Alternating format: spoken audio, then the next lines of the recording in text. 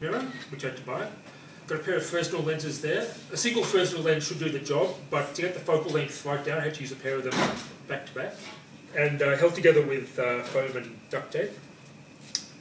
Um, the way it works is you basically phone's switched on. He sits there. And you basically hold it in place with the rubber band.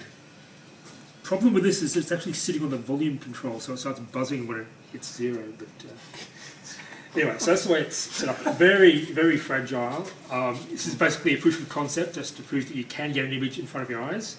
Down here, there's a pair of fold-down, half-mirrored uh, bits of plastic, which came from an old CD case. To get the half mirroring, I got a, an iPhone um, screen protector, which is mirrored. Stuck it on there. It's held in place with binder clips. Uh, got twist ties in here, which allow you to move it into position. Got the uh, bulldog clip on the front, rubber band held in place in the back with a paper clip. So it's very much done with uh, Pilford, Pilford office supplies and stuff you find lying around.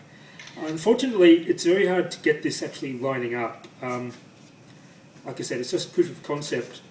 In future, if I ever wanted to do this seriously, I'd have to actually lock these in place because, um, yeah, getting the to line up, it's a, it's a fair bit of effort.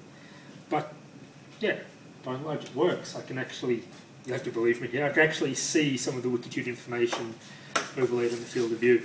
One, uh, one drawback with this is the, the, the mirroring I've got on this is very weak, so if there's any, it doesn't work in direct sunlight at all. In here, it's marginal, I can sort of just see it.